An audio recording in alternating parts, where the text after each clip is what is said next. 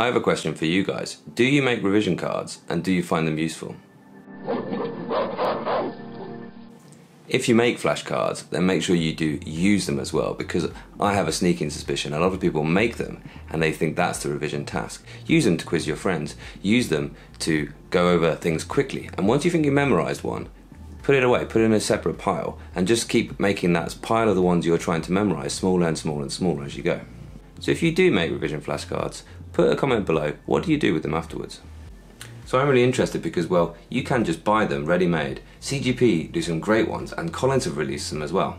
I like these because they're really detailed, but I really don't like CGP because they tend to underline just about every single thing. They don't highlight the most key information. My Memorise videos just tell you the detail that's in mark schemes. They go through and they just tell you the detail that'll be in the mark schemes, just the key terms that the examiners are looking out for.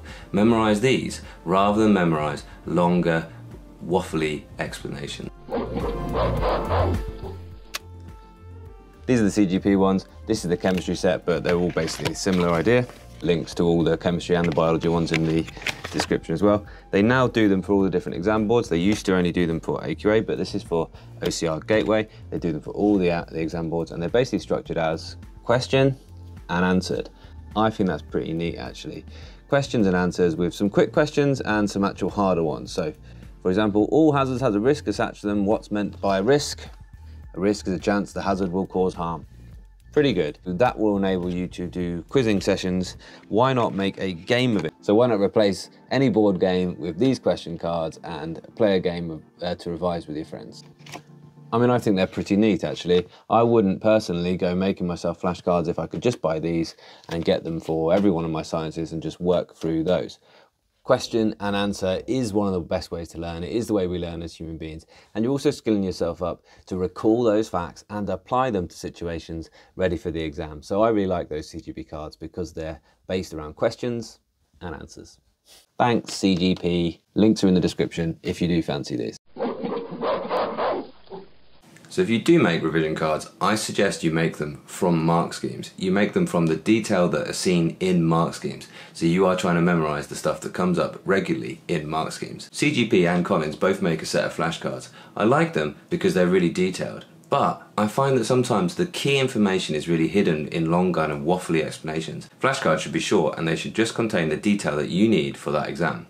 In my memorized videos, I've just boiled it down to the stuff that comes up in the mark schemes time and time again. I've used my experience as an examiner to just distill the stuff that I'm looking for when I mark questions on all these topics. So check out these videos memorized for paper 1 and for paper 2. I've done for AQA and I've done for OCR, so check these links. So if you do make revision cards, there's two things you need to get right. You just need the detail that people are looking for on the mark schemes. So actually make the revision cards using exam materials, using questions that you've done in class. Don't make them from the revision guide. Don't just be copying out the revision guides onto flashcards. That is not the way to do it. The second thing to make sure you get right is to make sure you're using them afterwards. Make them and then use them. Make them and use them to quiz your friends. If you don't have time and you haven't made flashcards, don't start now. Just buy the CGP ones and use them to quiz each other because it's the using of the flashcards that's really going to help it stick into your memory. Okay, so answer that question for me. Do you make revision cards and what do you do with them after you've made them?